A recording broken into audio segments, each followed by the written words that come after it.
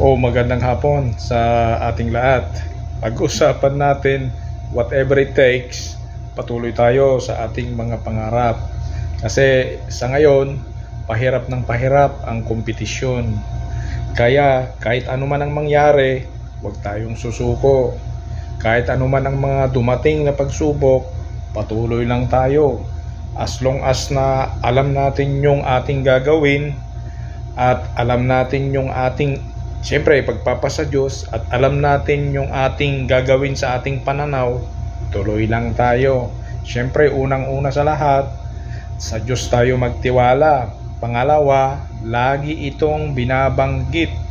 Kinakailangan natin magkaroon ng burning desire sa ating mga pinapangarap dahil yan ang nagre-refuel sa ating puso't isipan. Hindi natin kaya kung wala tayong motivation.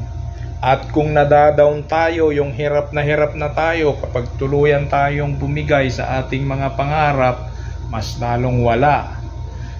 Focus tayo, yan, focus na yan. Intention, ayan.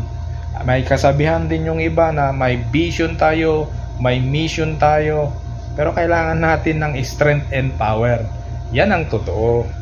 Hindi pa pwede tayong magpatuloy na wala tayong strength and power sa ating buhay. Pero ang sinasabi natin na strength and power dito ay ito yung spiritual at saka wisdom at knowledge, information na naa-acquire natin sa ating journey sa pang-araw-araw na na-experience natin lumalakad patungo sa ating pangarap. Kaya sana ang vlog na ito nakatulong po sa ating lahat. Short lang ito. God bless po sa ating lahat.